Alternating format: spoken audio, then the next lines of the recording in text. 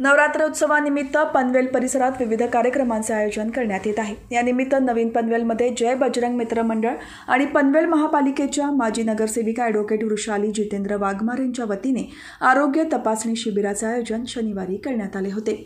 या आरोग्य शिबिराचे उद्घाटन माजी सभागृह नेते परेश ठाकूर यांच्या हस्ते झाले.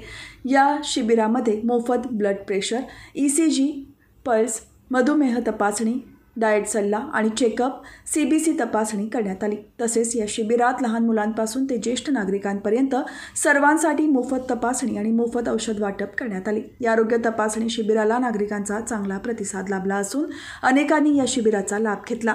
यावेळी भाजपचे पनवेल शहर अध्यक्ष अनिल भगत जिल्हा सरचिटणीस नितीन पाटील खांदेश्वर पोलीस ठाण्याचे वरिष्ठ पोलीस निरीक्षक अजय लांडगे यांनी भेट देत आयोजकांना शुभेच्छा दिल्या. हे शिबिर यशस्वी करण्यासाठी मंडळाचे अध्यक्ष विनोद वाघमारे ॲडव्होकेट जितेंद्र वाघमारे, योगेश हाडगे, हेमंत पिसाळ, नंदू ठाकूर, विक्की सोनकर, हेमांगी वाघमारे, सोनिया कलगुटकर, शीतल शेळके, प्राजक्ता वाघमारे, शुभांगी घाया विश्वास जाधव यांच्यासह मेडिकेअर हॉस्पिटलचे रमेश यादव, श्री सोनवले, डॉक्टर पूजा यांनी मेहनत घेतली.